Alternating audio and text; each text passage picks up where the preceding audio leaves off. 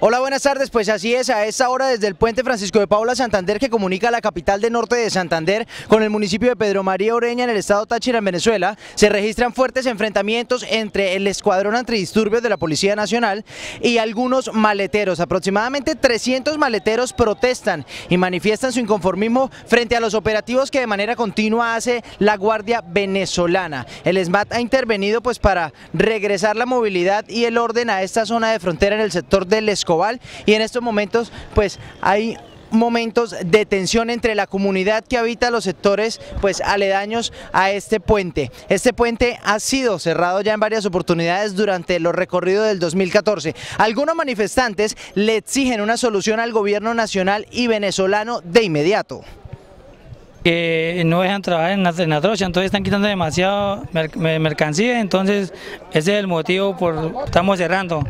Están quitando demasiadas motos, tenemos como unos cinco, como unos cinco, como unos cinco compañeros presos y nada que lo sueltan.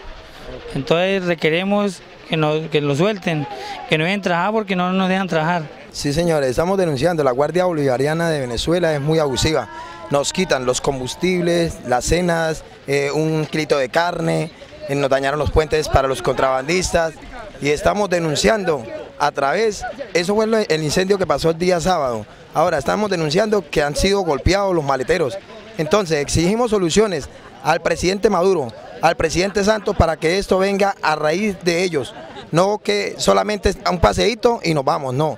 Señores, necesitamos soluciones a través de todos los maleteros para que haya trabajo para ellos porque esto es una zona fronteriza y todos tenemos derecho de camellar. Así que por favor solucionemos esto y si no entonces va para largo este paro hasta que sea posible.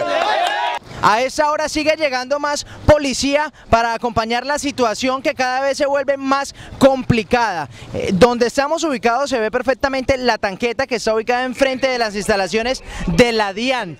Pues a esta hora al lado y lado del puente se encuentran maleteros encapuchados lanzando piedras y por su parte pues las autoridades lanzan gases lacrimógenos y piden que retorne la calma por respeto y por cuidado a las personas que habitan estos sectores. Nosotros desde Cúcuta estaremos muy pendientes al desarrollo de la información. Con la cámara de John Alviares informó Gustavo Ruiz para Oriente Noticias. Muy buenas tardes.